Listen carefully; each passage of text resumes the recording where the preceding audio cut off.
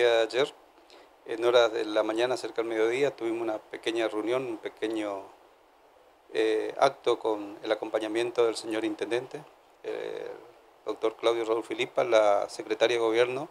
Marcela González, quien nos estuvieron acompañando en el salón de atención al público, eh, entregando eh, nuevos uniformes para más equipamiento para nuestros inspectores que desempeñan su labor en la calle, eh, consistente en camisa, pantalón, bota, gorros, y haciendo un pequeño balance de, lo que ha sido este año de trabajo a cargo de la Dirección de Tránsito y, acompañando a la gestión de, como le dije anteriormente, del Intendente,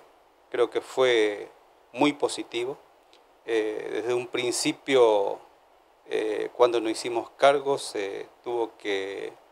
equipar prácticamente a la totalidad del personal, tanto de calle como de oficina, equipamiento de nuevos vehículos, siempre con el apoyo permanente de, Claudio, este, entre tantas otras actividades que llevamos a cabo, tanto la gente del taller, la gente de educación vial, la gente que desempeñan su trabajo en, en las distintas oficinas de acá de la Dirección de Tránsito. Como habrán visto, seguramente también estamos refaccionando totalmente todas las oficinas para mejorar, mejorar la atención al público, darle realmente la atención que el público se merece. Este, y bueno, seguramente seguir trabajando eh, en cartelería, señalización, prevención, agradecer también a la Policía de la provincia y las demás fuerzas con asiento acá en Puerto Iguazú, que siempre colaboran eh, a todos los requerimientos que, que le solicitamos eh, para la prevención eh, en los diferentes operativos que llevamos a cabo. De 10 conductores hoy veo que prácticamente todos, o a veces uno o dos sin casco, pero la mayoría ya están tomando conciencia de que es necesario protegerse. Eh, nosotros por ahí no queremos que tomen como una medida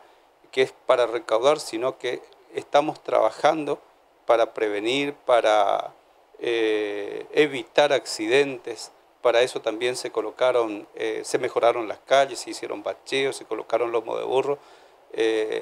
Bueno, esperemos que la gente tome conciencia de esta situación. También desearle para esta Navidad a toda la comunidad de Puerto Iguazú mi sincero deseo de felicidad y un próspero año nuevo, un próspero 2017 y que colaboremos entre todos que nos cuidemos entre todos, que respetemos las, reglas y las leyes de tránsito.